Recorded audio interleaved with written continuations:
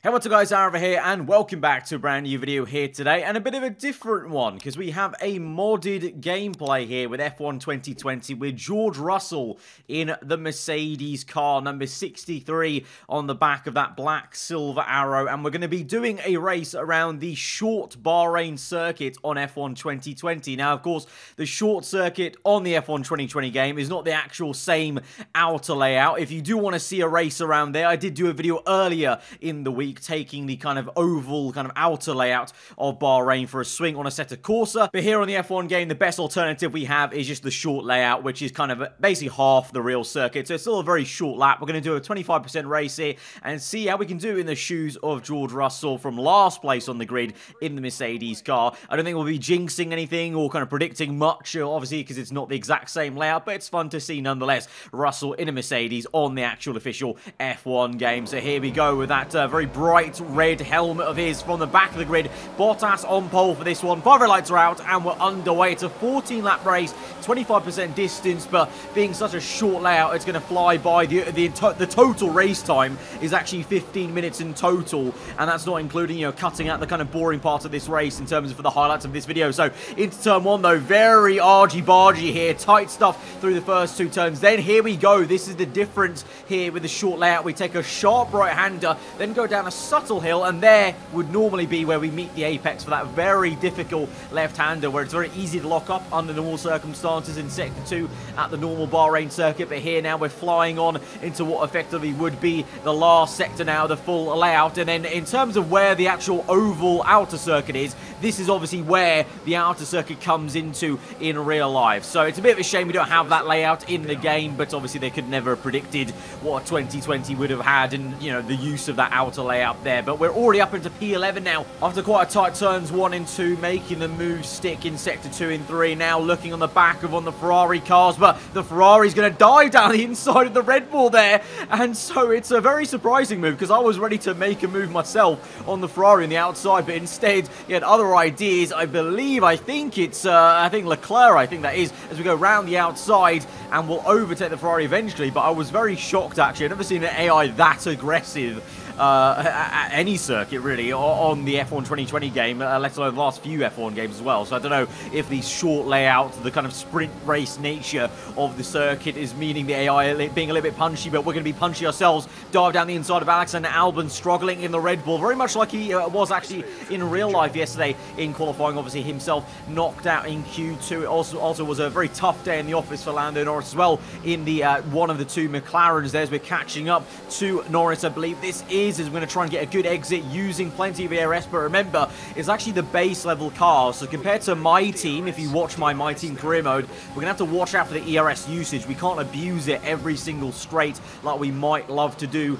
in the My Team career. We have to be a little bit cautious, so might not be able to deploy too much ERS for a lot of these remaining laps of this Grand Prix. We're already down to, you know, 40% left for the entire race as we now go round the outside and dance our way around the Renault as well as the McLaren there finish that move move off. And we're up into P7 on lap number three. So the Mercedes car working well as ever around Bahrain short. And we are flying through and looking good to hopefully go from that last to, well, we're going to try and aim for first place, but it's going to be a different question if we can try and overtake Valtteri Bottas. Let's see when we get to that. But first and foremost, I have to actually make sure we get to that. But the engine is overheating so much here on lap number four. We send it down the inside of Carlos Sainz, but you would have seen the heads-up display there on the right. The engine was pretty much red which is actually very concerning because I never usually let it get to red, but that pretty much means the engine's going to lose some power actually with the game, with the way the temperatures work. So we have to try and cool that down. We bring it down. You can see it's now green again on the bottom right, and so now we can use some rich mix, deploying ERS across the line.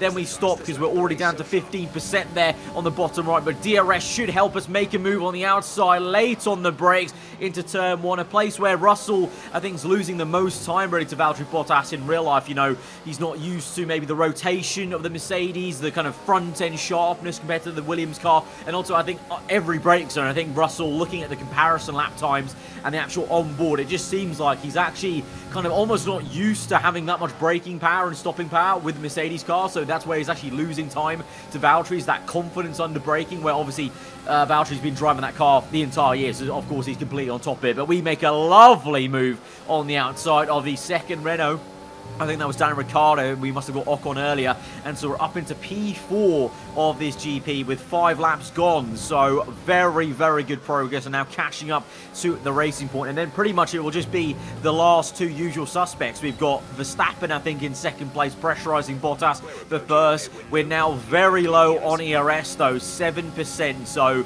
uh, I don't think you're going to see me basically using ERS very much now for the next few laps, pretty much until after our pit stop, basically, because I just don't have any any to deploy. Like it drains so quickly on these base cars. It's a bit of a joke, really, when you're too used to the My Team career mode and the way the ERS deploys there. But here we are on the swing now on the uh, the, the, shortcut layout, then onto the DRS straight. It, what it is, it's a very unique short circuit. I actually do like it a lot. I do enjoy the outer ring, though, having driven it on Assetto Corsa. That's also quite fun. Um, so I wouldn't mind, you know, as I did mention in the Assetto Corsa video, I think it was, you know, F1 should definitely, you know, if they want to try and, you know, make longer calendars, but without trying to be a logistical nightmare, they should look into these alternative layouts more often, because it's been very interesting in real life to see them go out on that outer layout Bahrain. And here for us, very, very fun to kind of cut in on that shortcut and miss out uh, a bit of the lap basically and just kind of uh, bucket through with a, you know, you can see on the top right, just over one minute lap time. So it's not quite the 55 seconds of the uh, uh, outer layout in real life, but it is still very, very short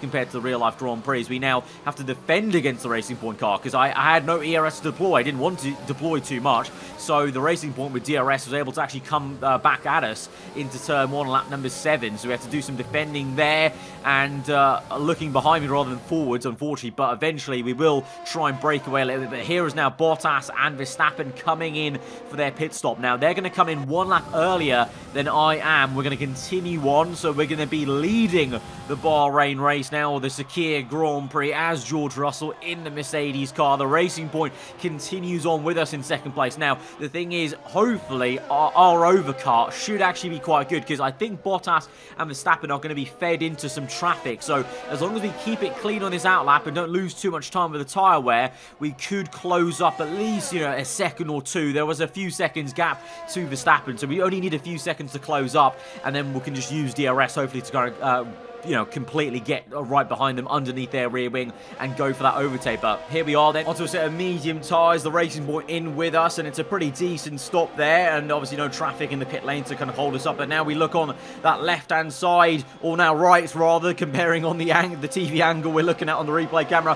Where is Bottas? Where is Verstappen? We go back on board with ourselves, and uh, up the road is Bottas still in first place, but he's being held up by the Alfa Romeo car there. So Verstappen and Bottas are going to lose some time. And look how slow the Alfa Romeo is through that right-hander, really uh, pushing Bottas back into Verstappen. And then uh, equally so, those two as a unit back towards me. And you can see there we are then. We're in the frame, in the camera shot. But Bottas goes for the move to overtake the Alfa Romeo to get into the lead on the actual racetrack itself rather than just the net position. But Verstappen doesn't get the move. He's not close enough. And look how slow he is through this entire section up the hill and this, you know, it's going to be an issue, I think, in real life. You know, in the Grand Prix later today, because it's being uploaded before the real-life Sakhir Grand Prix. So later in today's race, I think you're going to see this. You're going to see some issues with traffic where it's going to be very hard even for the blue flag cars or just, you know, traffic in general to get out of the way for the faster cars to make the moves because it's such a quick lap and such a full throttle lap. It's going to be quite difficult. So it's going to be a big talking point and way, and, you know, might even decide the race or the podium or, you know, definitely some big places for you know the midfield battle between McLaren, Renault, Racing Point, and Ferrari. Uh, you know it's going to be very interesting to see because Leclerc did a mega job in qualifying. Bonkers to see him right up there. Obviously Norris and, uh, and Albon got knocked out, and then you got the Racing Points looking very very strong, and then Renault kind of floating in the middle there. So we'll see how that all goes. But for us, we're going to overtake Verstappen with ease. My engineer actually told me that he has a mechanical issue, so he's slowing down and limping in this Grand Prix. So hopefully that doesn't happen in real life. I said we hopefully won't jinx or, you know, predict anything because it's not the actual technical outer layout, but uh, you never know. But let's hope let's hope not because it would be mega to see Verstappen fighting up there with Bottas and Russell, hopefully, fingers crossed. But here we are then, on towards the second last lap of the Grand Prix, and we're now within one second. We're tucked up behind the rear wing of Bottas that was into turn one, such as the closing speed with DRS, but unable to make a move quite yet. And obviously, you can see in the bottom right, we're single digit figures for ERS, so I need to be very careful and pick my, you know, I need to really pick this straight where I use ERS properly. And at the same time, also engine temps, we need to make sure we keep those down. And so we're in standard mixture and lean mixture at the moment as well to try and cool down the engine, keeping it in standard. We will use rich mix eventually on the straights, but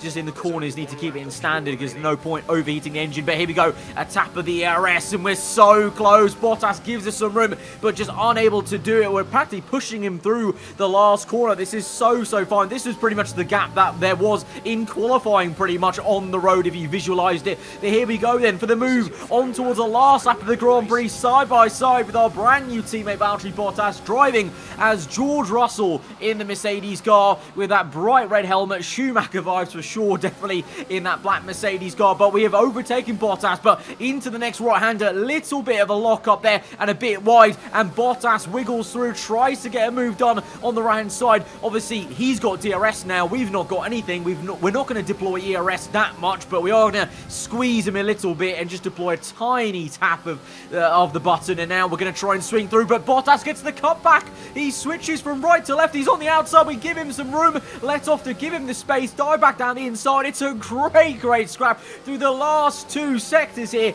of this short Bahrain circuit layout. And we're still going for it. It's still a drag race down to the final corner, but we are going to get it to the inside and we should have the run to the line to win the Sakhir Grand Prix alternative Bahrain GP race here as George Russell in his Mercedes car. If you guys did enjoy that one, hit that like button. Let me know what you thought in the comments below. If you're new around here, then do get subscribed for weekly Formula 1 content, and I will see you guys next time. Enjoy the race later.